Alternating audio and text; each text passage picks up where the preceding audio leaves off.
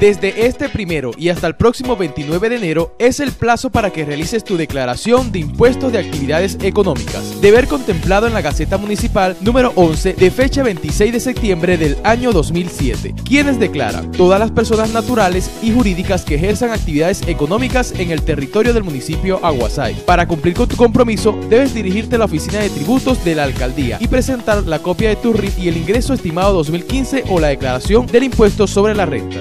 Evita sanciones. Oficina de Tributos Municipales, Alcaldía Bolivariana del municipio Aguasay.